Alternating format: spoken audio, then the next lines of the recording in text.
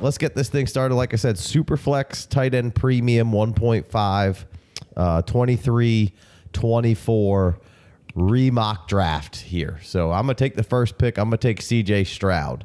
Uh, Austin, who you got at the second spot here? Yep. Second, I'm going to take Anthony Richardson. Homer. Uh, one three. I'm gonna take Caleb Williams. And I'm back up on the clock at 1 4. I'm taking Marvin Harrison Jr. All right. Uh, one five. I'm gonna go Bajan Robinson. Oh, if you're not gonna pronounce his name right, I can't listen to this show. 106. I'm going to take Jahmyr Gibbs here. All right. All right. So so no Puka, no Nabers, no Rome, no other quarterbacks off the uh, off, the, the board. board. here. Oh, I think he's a rip. All right. So I took Stroud. Let's let's we're gonna go six at a time. Then we'll kind of review where we're at here. Stroud. I took Stroud. Just it, it's safe. You're not screwing it up. Maybe not the ceiling of what Anthony Richardson has, but you know, not the has a whole season as a body of work. Left a game and then missed a game or two, I believe, early, which might have knocked the average points per game down a little bit He was slaying. Come on, on. CJ Stroud. But I'm saying, like, I think when you look at his overall points per game, it, it was at like 18 and a half or something when, for the season. What- So what I'm saying is, I think he exited a game early I don't.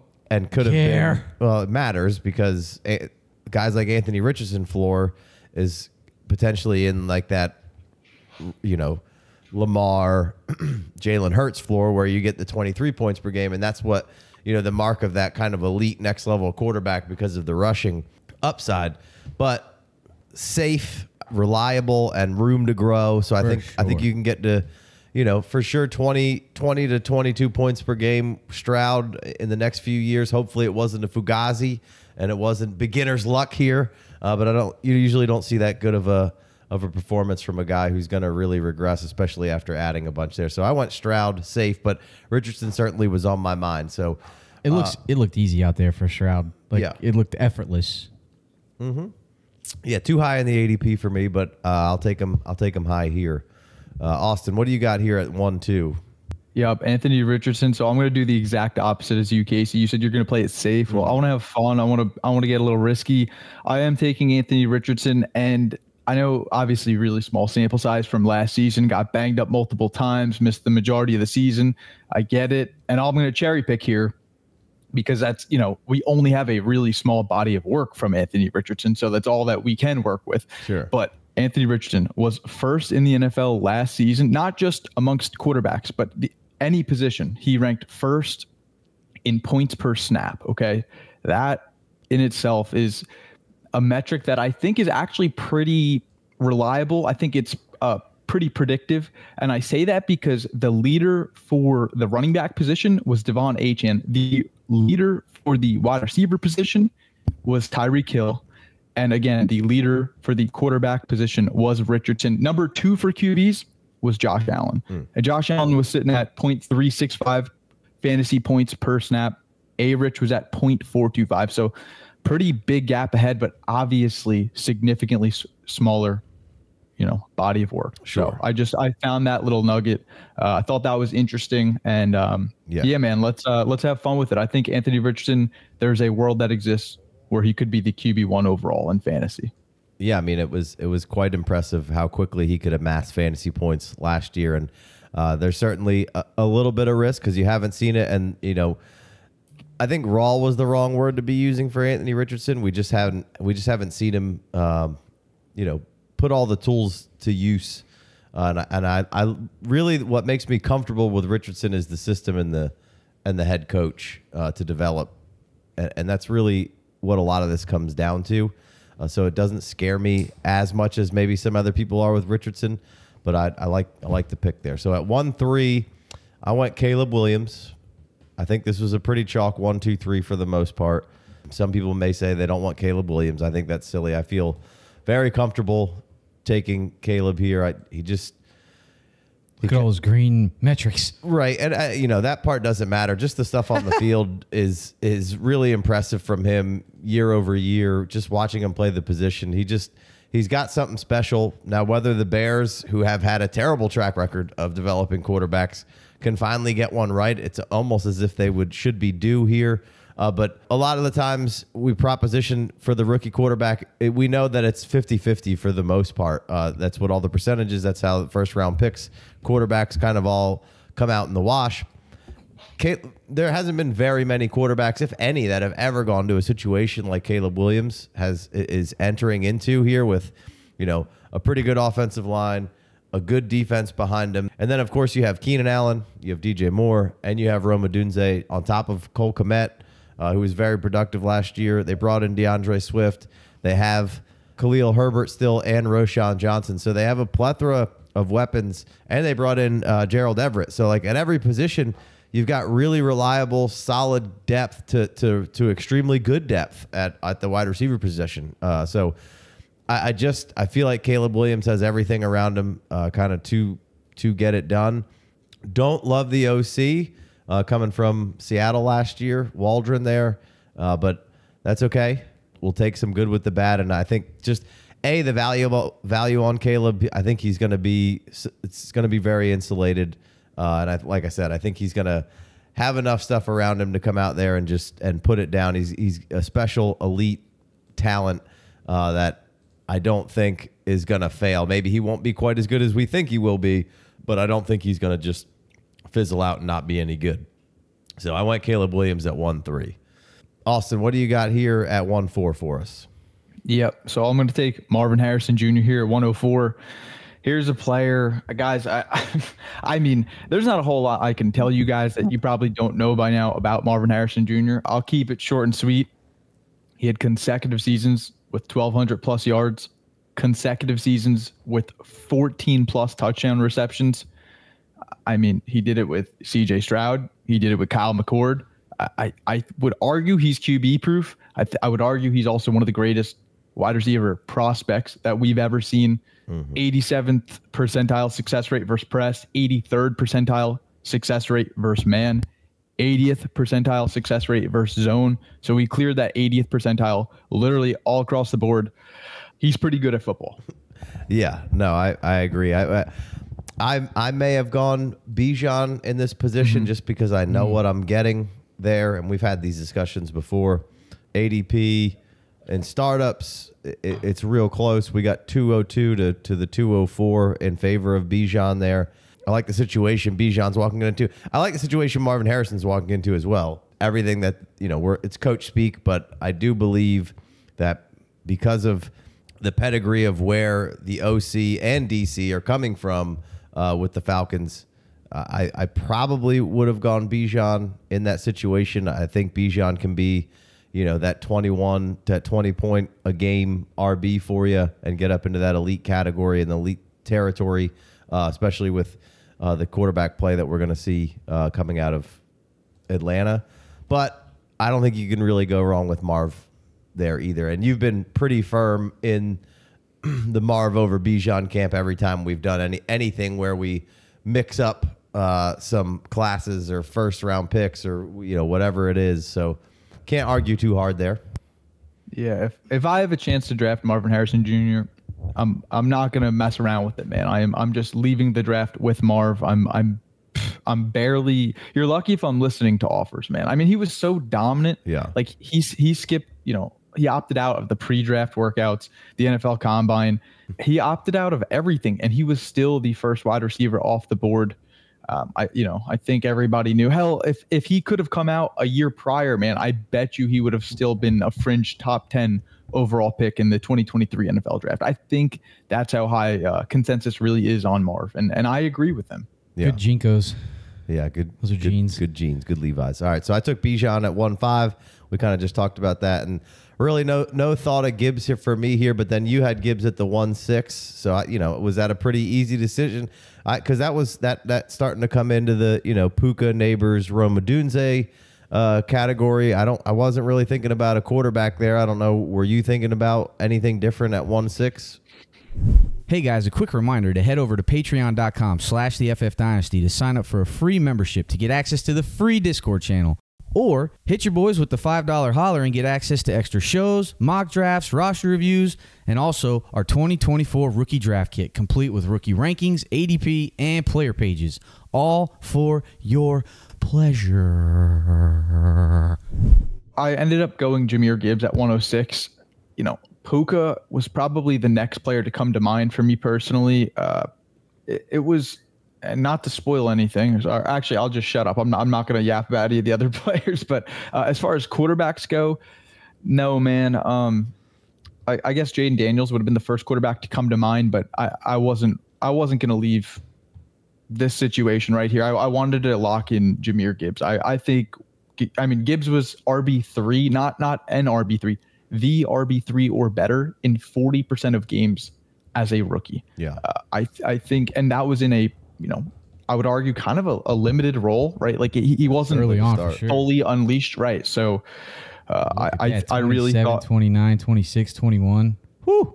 Yeah, yeah, I thought we saw enough from Jahmyr Gibbs and uh, I'm I'm just pulling trigger here, man. I'm I'm happy to walk away with Jahmyr Gibbs. I, I feel that confident. I think that I think that the Detroit Lions aren't going anywhere, man. I no. think they're going to be a very solid roster for honestly the foreseeable future. Yeah, when you when you build like the Lions have have built that roster, that's how you build for sustainability long term yep. through yep. the trenches, through that offensive line, and then you get a, a serviceable to good quarterback, and then you have one of the best receive, you know, one of the best receivers in the league, and then you get Gibbs and Monty.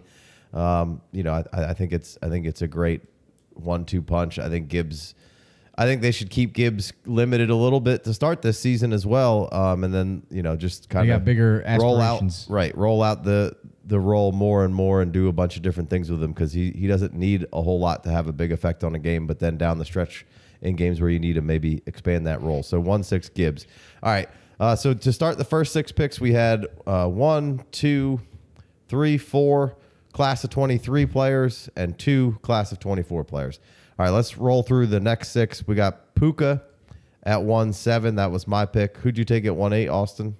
Uh, Malik Nabers at 108. All right, then I went Rome Odunze one nine. Who'd you go at 110? Sam LaPorta. I went Dalton Kincaid at 11. And then what was the last pick of the round? And then Jayden Daniels was the 112. Yeah. All right. So I took Puka there. I felt like that was a pretty easy pick. I'm taking Puka over Nabers, taking Puka over Odunze, taking Puka over um, any of the quarterbacks left. So I thought that was a pretty easy pick. I mean, to come out and do what what Puka did is it was very impressive. Uh, Matthew Stafford is at least locked in for another year or two. We'll see. I like where the Rams are at. I like what the Rams are doing. So that was a pretty easy one. Uh, no real thought of a quarterback just yet. So then you took Malik Nabers, like you said, at, at 108 Austin. That was, you know, you, you, you love Nabers, So that seemed like a pretty big layup there for you as well. Yeah, honestly, whoever you didn't take uh, between those two wide receivers, I was going to take with the next pick, Casey. Right. Um, I have I have Nabers, and I have Puka neck and neck. Uh, Puka is my wide receiver eight in Dynasty. Nabers is wide receiver nine. And, uh, you know, he, yes, Malik Nabers is three years younger, but you know what Puka did? Uh, he just had the greatest rookie season of all time, yeah. and that matters most. So yeah. I'm, I'm, I, am i am taking Puka here. I'm with you, man. So yeah, I, I mean, I like so, so far, like just, just the magnitude of these last two classes is just so, so fun, right? You can't really go terribly wrong here. You get some elite quarterbacks, some elite running backs, you know, some elite wide receivers that we hope are going to turn into. We're not 100% sure yet. We'll get into the second round. There'll be a bunch of guys that we've already at least seen play. So I took Rome Odunze there at 1 9. And, you know, I, I did start thinking about, hey, maybe it's time to look to, to Drake Maye or or look at Jayden Daniels there. I, I, like Maye a little bit more than Daniels, but I get it. Um, but uh, at the end of the day, I just I went with my guy Rome Odunze. Now look, it might it might be a year before you start seeing, you know, maybe Keenan's got to leave or or whatever. But I feel very confident, just like I talked about with Caleb there. Like maybe Rome won't be as good as I think he is and be the alpha, just number one dog. But I feel like he's going to be at least a good wide receiver in the league either way. So I, I, I just felt like, hey, instead of taking the proposition on the quarterback, which it's super flex, so I understand it, um, but I, I went Rome Odunze there. So Austin, how about the pick at 110? Still going no um, quarterback. I think this is when people are probably going to start going, why did you guys take the quarterback here? Mm-hmm. Um, but it's tight end premium at 1.5, and I was I was kind of I was kind of smelling what you were laying down there. So Tell us about Yep. Laporta at 110.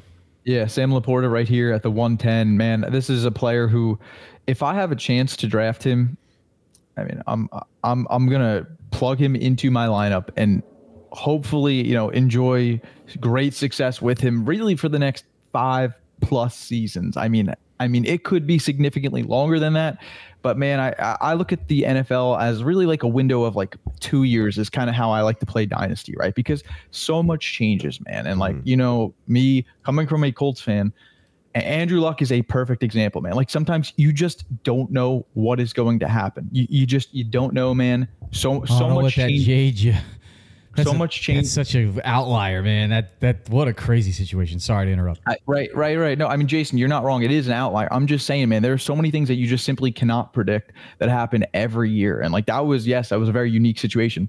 But I'm just saying, man, I, always- I always like play Dynasty with that mindset of every two seasons um, and, and then um, really go on from there. But Sam Laporta, man, I, I think he has half a decade of of high production in him. I mean, you want to talk about his rookie campaign. He ranked first all time in receptions, second all time in receiving touchdowns, and fourth all time in receiving yards. That is for tight end rookie season. Okay, so I would argue. I know I just said that Puka had the goat wide receiver rookie season. I would argue that Sam Laporta also did it for tight ends. I think he's in that conversation. Whereas I think Puka candidly did it.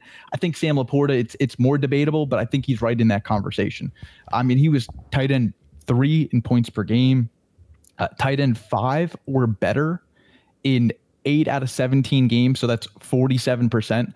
I mean, hey, man, if, if you're plugging in a rookie tight end and he is the tight end five or better in, in basically half the games, that's everything that you pray for and more. You know, I just, I'm all in on Sam Laporta. And I think his ADP and redraft might be a little too rich for me, but this is Dynasty, Casey. So, Yeah. Man, if I'm gonna pray, it's gonna be for some way crazier than that. But right. Um, Laporta's not my tight end one, as some people have him, but I but I get taking him there and, and long term and, and betting on the Lions long term and whether he's second or third in the pecking order. And but you know I think the touchdowns will be there.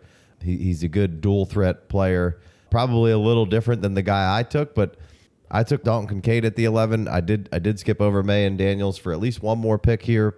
Casey, how close, how close are these tight ends for you? Uh, well, they're real. They're really close. I, I would probably have McBride as my tight end one right now, um, and then Laporta and Kincaid are, are real close. And the reason you know I can went with Kincaid over the quarterbacks is just when we see you know volume in tight end premium, uh, we can see these tight ends put up WR one numbers, and we've we've we've talked about this multiple times on the podcast. There's five or six tight ends out there who put up uh, WR one numbers, uh, especially when they get the volume. And Kincaid is just really setting up in a spot here where the volume is going to be, I think, he's getting all of Diggs targets. I mean, right. That's not the really way that it really works, and we're going to see a, a completely different form of offense uh, that's going to go on over here. Th- I'm kind of thinking like the Patrick Mahomes era after the Tyreek Hill kind Really of opened the left, offense up. where the the offense is, is a little different, and maybe you're a little bit more of a point guard out there doing some stuff. But Dalton Kincaid, I think, certainly is going to vacuum up a decent amount of targets there, and is probably their best receiving threat at the moment. We'll see if Keon can get there, but the way this offense is going to break down between Cook and Kincaid, I feel like that's going to be, you know, a lot of how this offense. We'll see how Shakir and Curtis also operate inside this framework. But we just saw us take all these wide receivers beforehand, and they're all great wide receivers, or, or we at least expect them to. I saw Kincaid have a really good back half of the uh, of his rookie season, get better. Now they do have Knox on there, so you could argue about that, but uh, Kincaid is is the pass catching threat uh, in this offense. And when when there's volume in tight end premium, like I said, they can put up the WR one numbers, and that made me take uh, Kincaid there as the next guy off the board. So Yeah, 90, 91 targets, uh, and you can see what Dawson Knox did to his snap percentage here. You know, I was highlighting that earlier.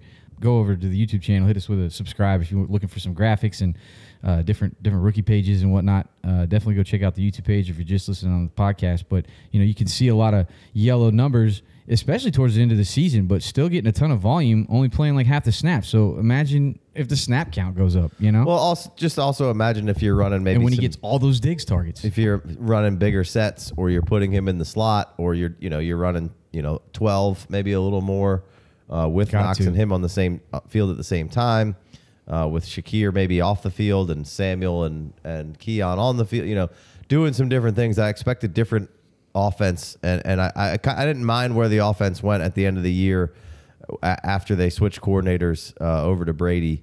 I just went with Kincaid here because I think the volume's going to be good. You get the extra half point per reception.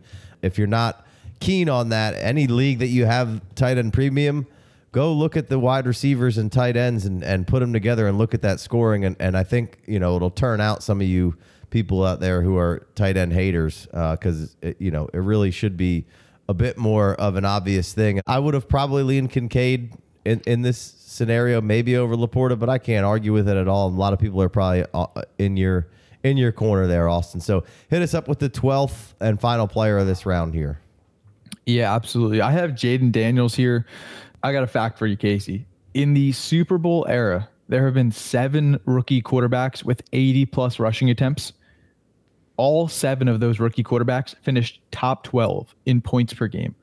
Uh, I'll, I'll read you the list real quick. We have Kyler Murray, who, by the way, was at 18.6 points per game. That was the lowest on this list. So Kyler Murray, Lamar Jackson, Josh Allen, Russell Wilson, Robert Griffin III, Cam Newton, and Vince Young. And Cam Newton ranked first in points per game among you know in that list at 24.8. This is a pretty damn good list. I'm not saying, you know, because I pulled this statistic, I'm not saying that Jayden Daniels will finish as a top 12 quarter quarterback, but I'm just saying, you know, history is looking pretty appealing right now. Yeah. You know, here's a player who had over 1,100 rushing yards last season. Obviously, J- Jayden Daniels goes second overall, wins the Heisman with LSU.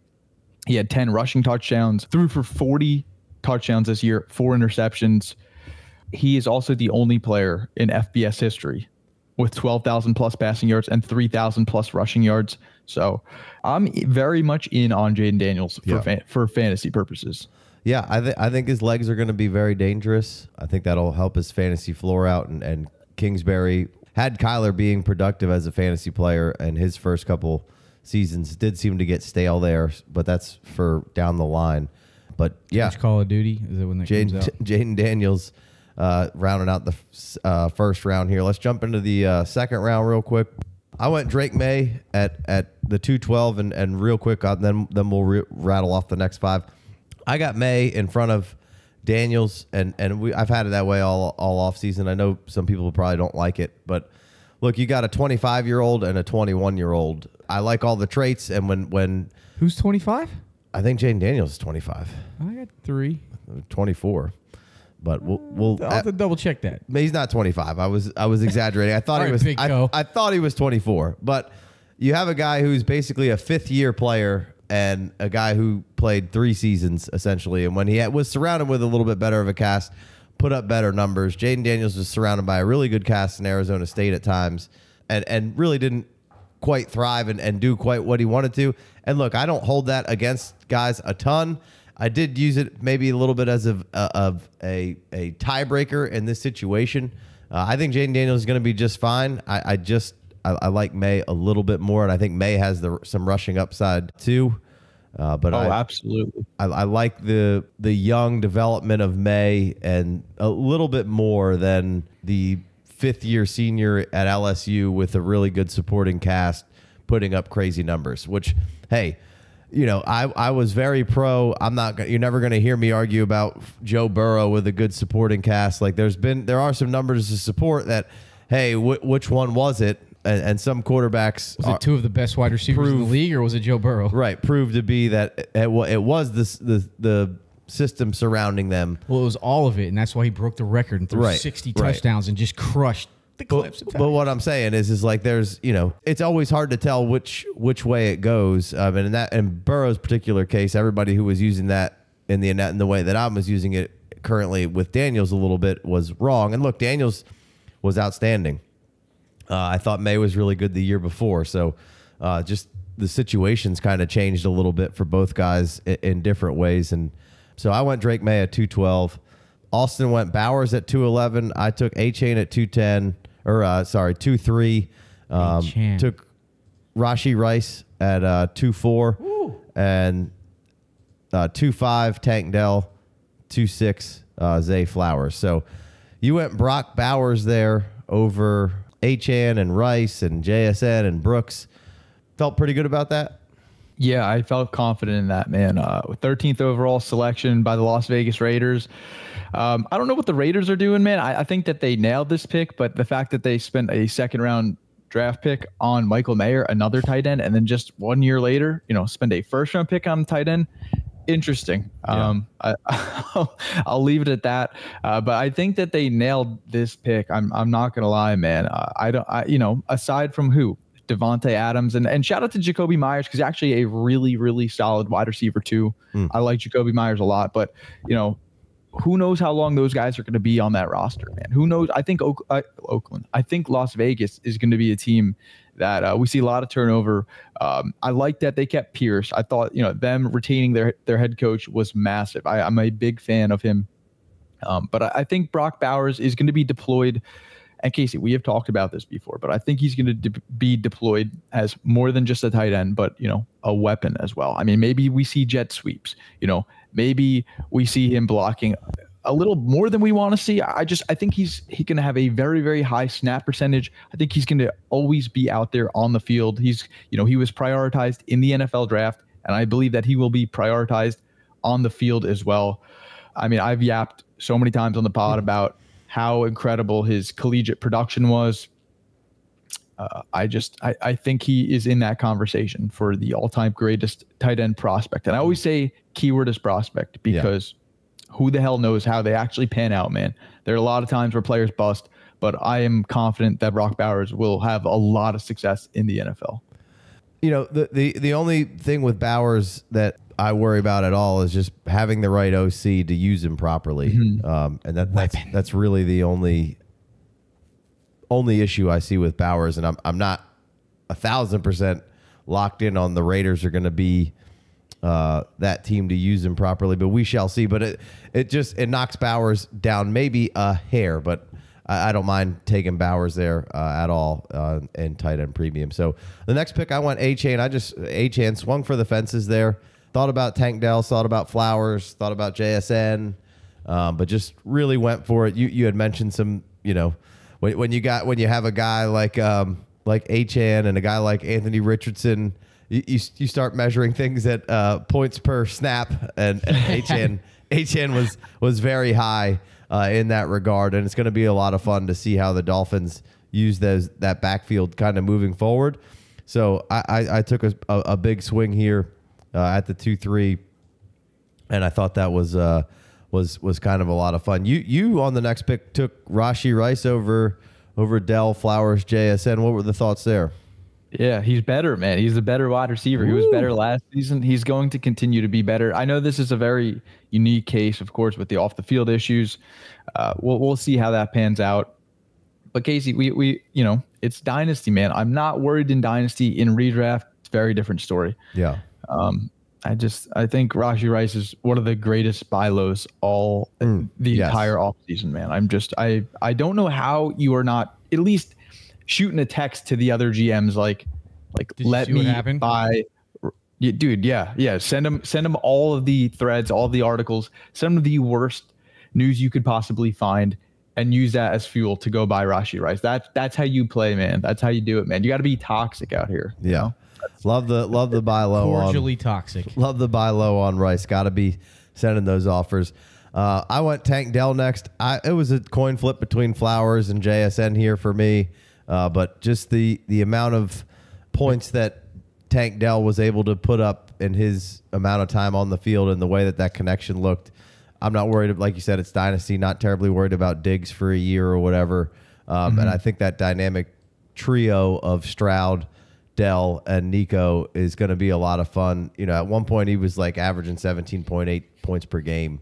And when healthy, this is a sick sick uh, stretch. Right. And and while he may not be quote unquote the number one, I, I think this is an offense that doesn't really matter. Both of those guys can put up wide receiver num- one numbers. Now this this year it might be a little bit more of peaks and valleys, but I'm going to live with that, uh, knowing that that C.J. Stroud and the Texans are an arrow pointing straight up. So I went Dell there. Uh, you went Flowers on the next pick. Uh, no JSN, Brooks, Worthy. You like Flowers over most of the rest of the 24 class? Yeah, I'm I'm pretty I'm pretty in on Zay Flowers. I've I've gotten much more bullish. It's probably your fault, Casey, because you you know he he's I think he's definitely one of your guys. You know, I know that you're bullish on him, and listening to you know whether it's a lot of Matt Harmon content or just listening to you. He turned down six hundred thousand dollars or something. I mean, come on. Are you Jason? You talking about the uh, NIL deal, of course. right? Yeah, yeah. Been No, I- talking about I- that for I- two years. For years. Yeah, man. He's. Uh, I think Zay Flowers could be a league winner, Casey. Like you said, uh, just 23 years old. Uh, you know, Finished so for- strong too, and into the Yeah, he- playoffs, and, and bonehead fumble, but whatever. Yeah, man, and and that's the thing, Jason. Like there was more meat left on the bone. If you actually sat down and watched those games rather than just look at the box score, you knew that you know not only was he becoming one of the focal points of that offense, but he was the number one weapon. Of course, when Mark Andrews was was out, you look at the box score; it's a little misleading. It should be better. Yeah. It should have been better. Yeah. No, I agree. I agree. And I he think- still had a good season. Yeah, really he still good. had a he had a solid rookie season. Obviously, there was some Andrews in and out, but like, man, I I, I love the Zay Flowers. Uh, so I don't I don't hate that at all. So I want JSN. I'm I'm look, it's dynasty. I, I have patience. I'm not ready to quit this guy. Honestly, I probably could have. You know, I'm okay with, with taking him in front of all the all those last uh, 23 receivers we just talked about. Still, like I I still think he's has a ridiculous ceiling, and I love you know eventually what could be in Seattle. And I like the new offensive scheme and the offensive coordinator. Uh, we're going to see JSN hopefully out wide a little bit more, bouncing in between the slot and out wide. But his his fantasy points uh, per snap out wide, I think were were very very productive. I don't have that number in front of me, but I was just on Memphis's podcast, so that number's floating around here somewhere. Um, I'll try to find it while while we talk. But let's go rapid fire through the next six guys. So you were uh, up next, Austin. You took Jonathan Brooks. I took Xavier Worthy. You took Brian Thomas. I took Ladd McConkey, and then to end this thing, uh, Jordan Addison. So you've uh, you you went Brooks over some of these uh, twenty four wide receivers. He's really climbing the charts for you there. Yeah, I'm I'm in on Brooks, man. Um, I think you know we've talked about this. I think that Brooks is someone who you want to buy a few weeks into the season. I think he's going to come off a little disappointing early on, and that's when you want to buy him. Here's what, what I'll and I'll be quick with Jonathan Brooks. It's the size that I love, the six foot two sixteen. I really, really found the draft capital appealing. Obviously, the second round draft capital, the first running back off the board. And the big thing, Casey, maybe the biggest, it's Dave Canales, right? The former offensive coordinator with the Tampa Bay Buccaneers is now the head coach of the Carolina Panthers. You you look at Rachaad White, who is another back who I don't care that he's relatively inefficient. He's productive, right? And he's durable. And I think that's what Jonathan Brooks will be in the future. I mean, Rachaad White had 322 touches last year, 70 targets, uh, the RB4 overall. I'm not saying that Jonathan Brooks will do that this year or uh, even like necessarily in the future. I'm just saying, like, we saw it happen with Rachaad White. I do believe that there is a world that exists where Jonathan Brooks can put up close to those statistics. Um, Right. I, he's, I'm in on Jonathan Brooks, man. I'm, Yeah. I'm very much in on Jonathan Brooks. Yeah, I mean, it might it might take a minute, but I, I too am in there, and I think uh, we've he's probably been the biggest riser all all off season for a lot of people. JSN fantasy points per route run when outside 0.61. That was tied for eighth overall minimum 100 routes. Dug deep in that legal, So shuffling papers over here. Yeah. All right. Put it into the computer. Um, so I went Xavier Worthy next. Look, uh, we've one fucking catch from Patrick Mahomes uh, in camp, and uh, the everybody's pants were off. So you know, and that and I've talked about it a million times, and now everybody in the world wants to talk about it. That vertical game is coming back for Kansas City with Hollywood and, and Worthy. He's really going to open up the offense. And now, now literally everybody's talking about it. Like, wh- where were you guys three months ago? But I took Worthy there. He's been my favorite non-top elite wide receiver out of these guys. Uh, but but but it's really kind of a tier. Um, and then you went Brian Thomas there. I know he's your boy, and, and in that tier with with the uh, non elites of the 24 class. So give us a little Brian Thomas, and then we'll uh, wrap it up. Yep, I love BTJ, man. Led the nation, 17 touchdown receptions this past season. And I'm going to give you one, the epitome of, of cherry picking right here, but hear me out. 23 wide receivers. There have been 23 first round wide receivers that were early declares and had a 2.75 yards per team pass attempt during their declare season. I know that's a lot to take in.